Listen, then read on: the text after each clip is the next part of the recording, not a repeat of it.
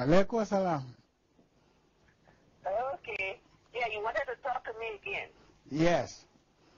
Uh, Mm-hmm. with regards to the our last meeting when you came here, I, Mhm. I want to request your assistance Mm-hmm. as the chair, chairperson of the uh, ECOWAS Authority of Heads of State Mm-hmm. to help us resolve this impasse peacefully through the courts. I hereby, Okay. I, I hereby request you Mm-hmm. to facilitate the release of the, uh, for ECOWAS to facilitate the release of the judges so that they can come and uh, help us resolve constitutionally through the constitution of the Gambia. As I said, the only peaceful resolution of this impasse is through the courts. Uh, we have everything what we, that we are doing is based on the constitution of the Republic of the Gambia, and uh, an application has also been filed at the Supreme Court of the Gambia for an injunction to restrain Adama Barrow from being sworn in, as well as restrain the Chief Justice and any other party from swearing in Adama Barrow into office until this application is decided either way and the status quo remain, eh, must remain. That is, until such time that the Supreme Court has made a decision on this, the status quo cannot change.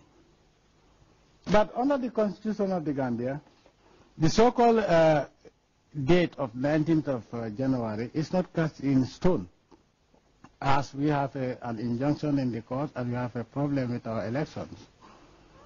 All parties should await the outcome of the Supreme Court, which will be the only legal entity to trust out this case once and for all. I want to assure you that whatever we want to do will be based on the constitution of the Gambia, and as we discussed, that all must pass through the constitution of the Gambia, which is the supreme authority.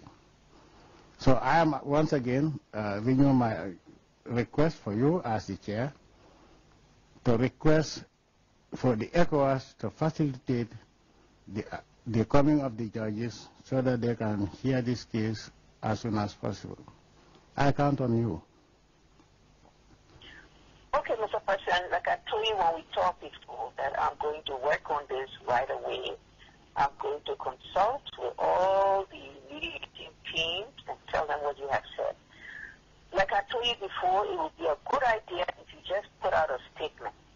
Y- yes, Just, you know, a, like we agreed before, just a short statement yes, coming from you. That would be very important to the mediating team. Yes, coming from you, making a request, you know, to the ECOWAS body that you only want peace and you're going to follow the Constitution. There's an infraction. They will please try and get those judges for you.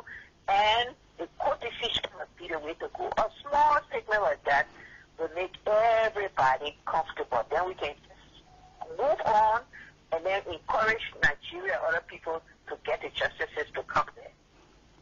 I promise you I'm going to do it today, and I'm going to do it today, my sister. All right. You have my word Thank for you it. so much. Thank you so much. All the best. All right. I want to listen. Thank you. Thank you for helping us to all find peace. Gambia needs peace and ECOWAS wants peace. Inshallah. I guarantee you that by the grace of Allah, we will work for a peaceful resolution.